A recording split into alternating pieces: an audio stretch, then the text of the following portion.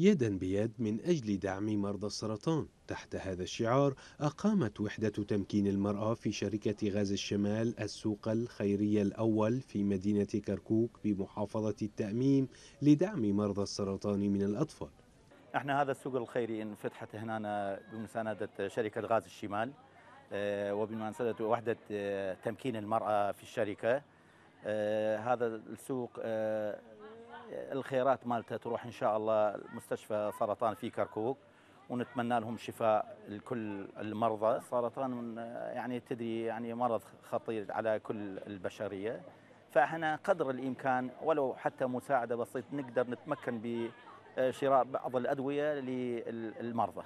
ويهدف السوق الخيري لتخفيف الأعباء المادية عن مرضى السرطان وعائلاتهم ودعمهم بالأدوية والاحتياجات الأساسية. هدف من هذا الموضوع اللي شاركنا به إحنا. طبعا المرضى دا نشوفهم أكثر شيء اللي دا ينشر المريض يعاني من قلة المال أو أهله أو كذلك دعم من الوزارة للجرعة. هذا شيء أكيد يعني إنه الجرع ما موجودة.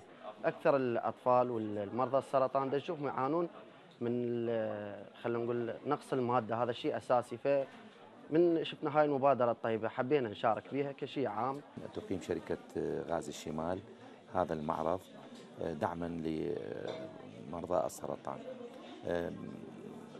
إحنا شاركنا بهذا المعرض دعما لهذا الشيء ونفضل إنه يشاركون كثير من المواطنين بالأخص المسؤولين في المدينة وشيوخ العشائر ورجال الدين دعما لهذا المشروع. وعبر المشاركون في السوق الخيري والزائرون له عن أملهم بتحقيق هدف إقامته المتمثل بجمع مبلغ يلبي متطلبات مرضى السرطان من الأطفال في كركوك.